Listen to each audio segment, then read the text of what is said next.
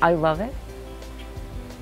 I guess one of the reasons that um, we decided on the pergola was that we did try a pagoda and that didn't work. We tried umbrellas, that didn't work.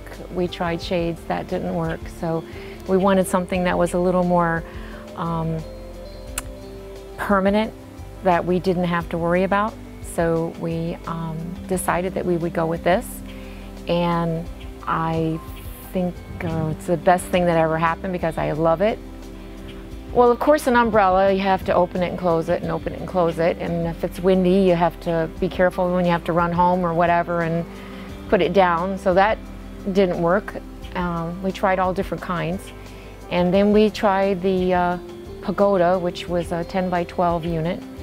And um, it was okay, but it, I wanted something that was more permanent, so I didn't have to worry about changing the cover or, or, or worrying about it ripping or I didn't want to do that. I wanted it attached to the house so when I walked out of the off of the porch or the lanai or patio, I could walk right on to uh, my outdoor furniture. It's very flexible. I mean, we've, we've had it in all different positions and, and uh, like now I can just sit here and it's not that hot and it's not cool, but it's not that hot that it's not unbearable that you can sit here.